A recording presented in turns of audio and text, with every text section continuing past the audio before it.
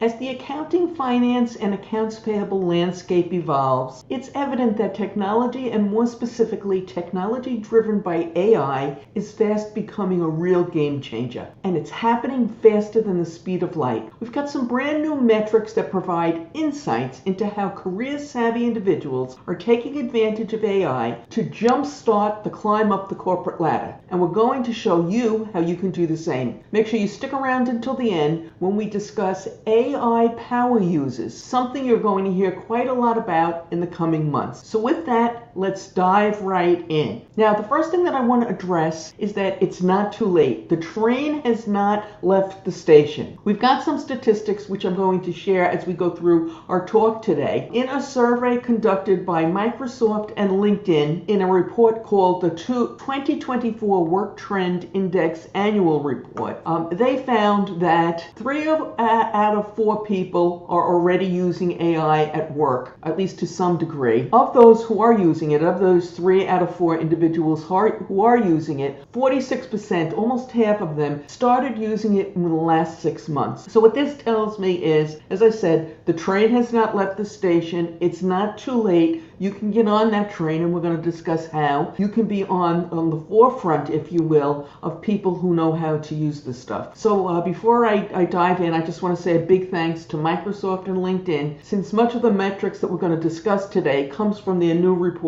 the 2024 Work Trend Index Annual Report. Okay, so uh, almost half the people who are using AI at work today only started doing it in the last six months. Now, there are a lot of benefits that come with using using it. And here are some statistics. Uh, I'm just going to read them off, uh, but you'll get the idea. 90% of those who are using it says it helps save them time. 85% says it lets them focus on their more more important work. 84% says they um, are able to be more creative because of it, and 83% say they enjoy their work more. And to me, that that's a biggie. I, you don't want to underestimate the value of that. Now, there is a new concept that you're going to hear people start talking about, um, and it comes from this this report, and it's called BYOAI. Bring your own artificial intelligence to work, if you will. And so people, it's not a company saying, "Hey, go out and use it," but people have started doing it on their own. And you may have done the same thing if you're using, for example, ChatGPT. Have you started using that? Have you started using Microsoft Copilot? Um, so if you're using one of these, you are already on, on the train. Now, sometimes people will say, uh, anytime there's anything that has to do with technology, that I'll say, oh, that's that's for the young folks, or that that's not for me. Um, you know, I didn't learn about that in school. Well, most of us didn't learn about it in school, no matter how young or how old uh, they are. And a very interesting phenomena came out of this report, and that is that it's not just Gen Z who's using artificial intelligence at work. As you can see from this this chart here, basically um, it, it's across the board. It's not one group using it more than the other. Um, so, you know, that was good to see. At least it was, was heartening for me to see. Now,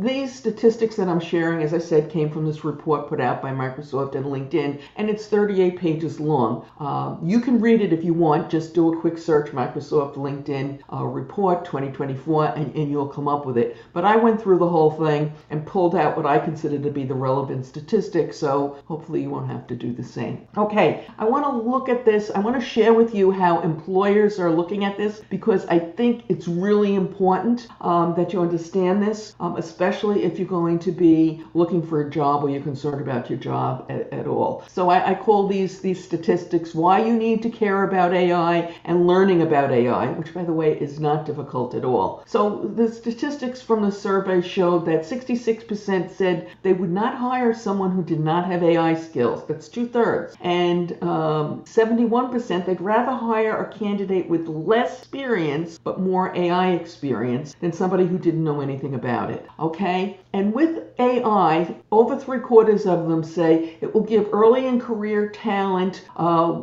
you'll get greater responsibilities. So if you figure out how to use it, you know how to use it, you'll have greater responsibilities. Now, at the same time, all this stuff with AI is going on, employers are also concerned about finding the talent to fill roles. And over half, 55%, said they are very, very concerned about that. Um, so it's not just, they just don't want a warm body, they want a warm body who has has certain skill sets. Now, this chart here uh, shows uh, where this this perceived talent shortage is, and since I talk mostly to finance and accounting people and accounts payable people, I've kind of with the red arrow, I'm showing you where finance and accounting falls on this chart, just in case um, you're one of my regulars and you are uh, wonder where it is. So yes, there is some concern that there won't be adequate uh, uh, talent out there. And if you've been, you know, reading any of the literature, you you will have seen that um, there is some concern that um, not enough people are going into accounting. Okay, so it's kind of we're at a conundrum, if you will. Um, employers are worried about finding talent with the right skills, and employees are worried about losing their jobs. So hopefully the two the two can meet, if you will. This is one of those those times when you know you want you want the two to meet, not never the twain shall meet. Now, one of the things that came out of this this report is that they identified four different levels of AI users. Okay, and it, it starts at the bottom um, with the people who are not using it or who are looking at their little skeptical, and they call that group the skeptics. Basically, they're people who have not learned anything about it. And then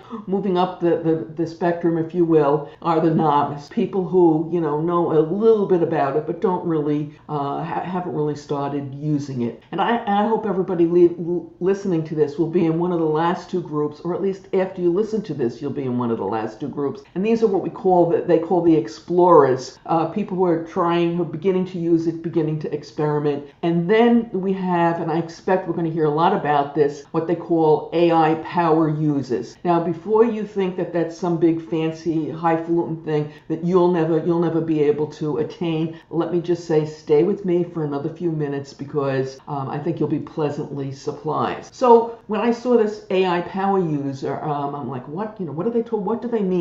Now I want to make it clear when I go through these little um, uh, items, if you will, that what we're not talking about is somebody who's gone out and purchased an automation solution that uses AI. That's great if, if, if you, your company has done that, but that does not make you an AI power user. user. To be considered one of these people, you must be familiar um, to extremely familiar with AI and have a general understanding of what generative AI is. You also should be using it at work several times a week, and uh, people who are considered power users say that AI saves them at least 30 minutes a day. So they're able to eliminate 30 minutes a day of, of tasks that they can then spend that time, they can devote it on more value add stuff. And there are, are um, benefits. So the power users, when they were interviewed, nine, you can see all these are these percentages are in the 90s. So most of them said that their workload became more manageable. They were able to be more uh, creative. They were able to focus on what they considered to be their more important work. They were more motivated and they enjoyed work more. And you know, you know, having these positive outcomes um, is an important thing, and it, it would be good for your staff. It, it will help um, raise morale. So there are some some serious benefits of you know getting on the on the bandwagon early, if you will. So how do you become an AI power user? So it's not difficult. This is what the report said. It said you have to develop some new habits because this is a little different than what we normally do. Um, you want to experiment with different ways to use AI, and they also um, describe this as the most important feature of being considered an AI power user. And let's face it, this is not something that anybody coming out of school is going to have those skills. So we, you know, it's kind of a level playing field, and we're all at, at the starting gate, and we can all do it. So experiment a little bit, and then power users, AI power users, redesign existing work processes to take advantage of AI. So that's really all you have to do. Just a little time and effort, and you can get there. Now, what do these power users use AI for? Um, they use it to catch up on mis- mismeanings, and I know probably some of you are aware there is software out there that will actually attend a meeting with you, if you will, and take notes, especially if it's online. They use it to analyze information. Um, if you were in the creative, they would be designing visual content for your layout layout people. Um, they're using it to interact with customers. I'm sure you've all had experiences, positive and negative, but we won't go there, um, with uh, chatbots. Uh, so they're using it to interact with customers, for brainstorming, problem solving, and to redesign existing processes that maybe aren't as efficient and effective as they could be. So lots that can be done with it. Now, um, this comes right out of the report, out of the Microsoft